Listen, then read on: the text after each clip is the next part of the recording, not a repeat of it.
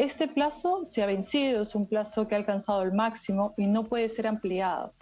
Entonces, lamentablemente, eh, lo que ha sucedido es que el cuarto juzgado de investigación preparatoria del Callao ordenó esta comparecencia restringida de estas dos personas, estos presuntos eh, feminicidas, con una caución de 60 mil soles cada uno, y por cumplirse el plazo máximo de esta manera. Nosotros vamos a entrar a este caso terrible de Solciret. Solciret, como ustedes saben, fue vista eh, por última vez el año 2016, cuatro años después. Su cuerpo fue encontrado en la casa de su cuñada, ¿no? Enterrada, enterrada en su baño. Eh, el 2020 exactamente. Después las investigaciones dieron de que eh, y además confesaron de que la cuñada y él eh, y el esposo, la pareja de esta, la habían matado y que este, la habían descuartizado. Una, creo que ella es la que eh, confesó el crimen. 2020, estamos 2022, dos años, con una confesión ya a cuestas, dos años de, de un trámite que con confesión y todo ya podría ser suficiente para una condena, ¿no? Pero ¿qué es lo que ha pasado? Eh, la formalización se ha dado a finales de año y el juicio eh, recién se ha dado este año, según la Fiscalía, y no han tenido tiempo y por exceso de carcelería los dos presuntos asesinos van a salir en libertad, van a ser excarcelados, a pesar que hay confesiones y audios, ¿no? Eh, los padres de la víctima están destrozados. Nosotros vamos a entrar a un enlace vía Zoom con Liurka Oxuca Salinas, directora de Políticas para una Vida Libre de Violencia del Ministerio de la Mujer y, y Poblaciones Vulnerables. Bienvenida, señora Eliurka Oxuca, a Exitosa Perú. Buenas tardes. Buenas tardes. Muchas gracias por la invitación a nombre del Ministerio de la Mujer y Poblaciones Vulnerables. Muchas gracias. ¿Qué es lo que ha pasado en este caso? ¿Cómo puede darse esto de excarcelar a dos personas que aparentemente ya eh, el proceso estaba encaminado, había suficientes pruebas y una, ella, había confesado. ¿Por qué pasa esto? Si han pasado dos años. Sí, efectivamente, como, como bien señalas, esta, la prisión preventiva tiene un tiempo, ¿cierto? Contra los responsables de feminicidio y desaparición de Solciret. Este plazo se ha vencido, es un plazo que ha alcanzado el máximo y no puede ser ampliado. Entonces, lamentablemente, eh, lo que ha sucedido es que el cuarto juzgado de investigación preparatoria del Callao ordenó esta comparecencia restringida de estas dos personas, estos presuntos eh, feminicidas, con una caución de 60 mil soles cada uno, y por cumplirse el plazo máximo de esta manera. Me parece importante señalar en todo caso eh, la importancia o invocar al sistema de justicia, no, tanto al Poder Judicial como al Ministerio Público, de justamente, o sea, evaluar que estos casos primero responden a una, a una situación de violencia de género, sí que eso es estructural y que requiere ser atendido con la debida diligencia y de la manera más célere posible. Cuando una mujer eh, está eh, desaparecida, una niña, un adolescente, las horas más próximas de su desaparición tienen que ser inmediatas el trabajo que se realice.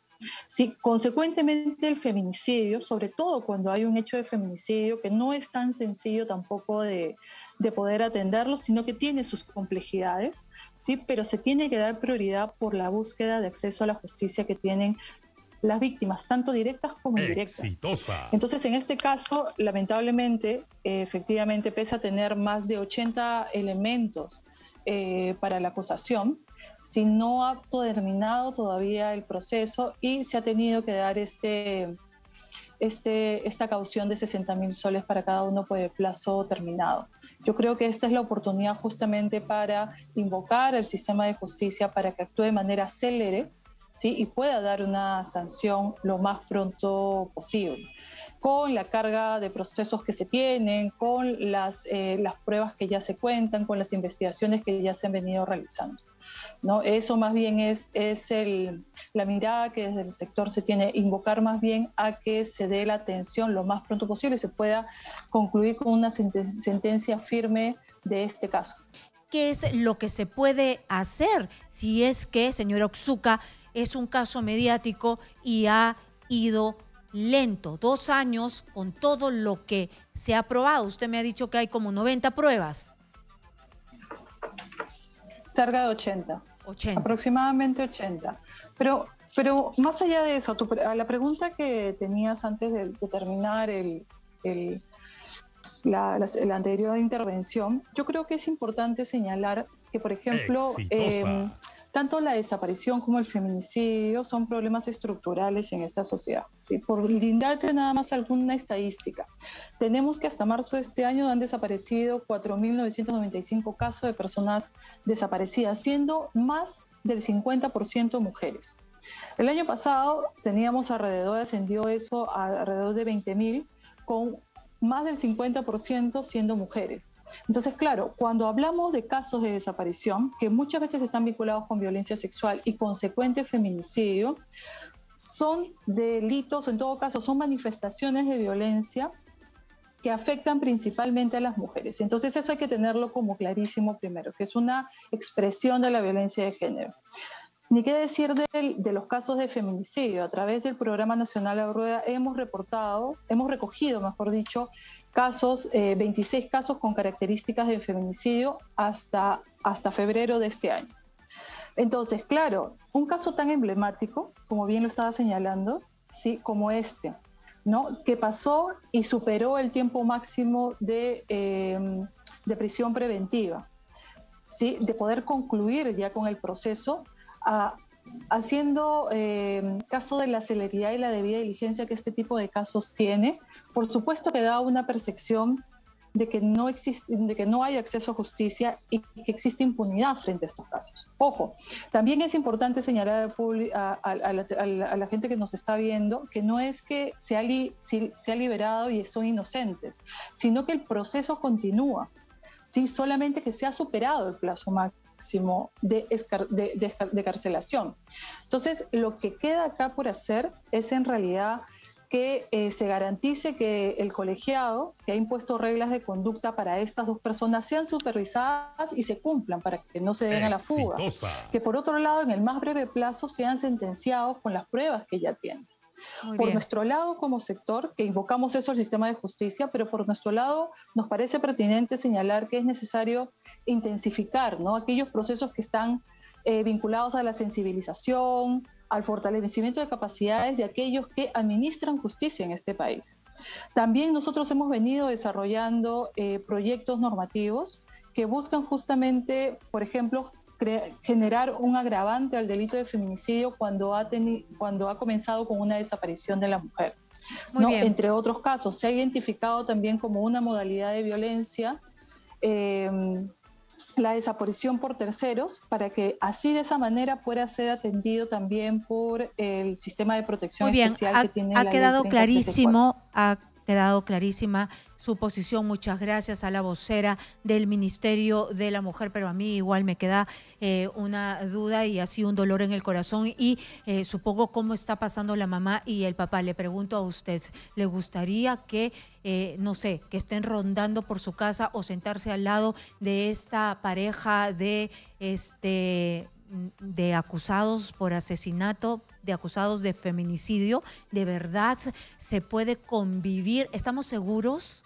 ¿La sociedad está segura con una medida restrictiva de comparecencia? ¿De verdad?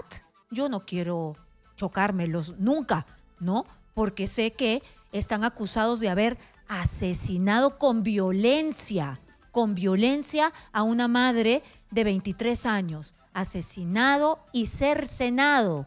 La partieron en pedacitos y después la guardaron por cuatro años.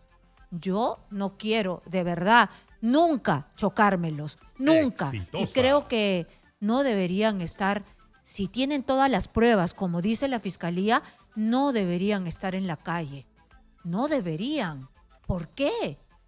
Si el Estado está para protegernos y si les entra furia nuevamente y hacen lo mismo con otra mujer, porque si es feminicidio es porque tienen algo en contra de las mujeres.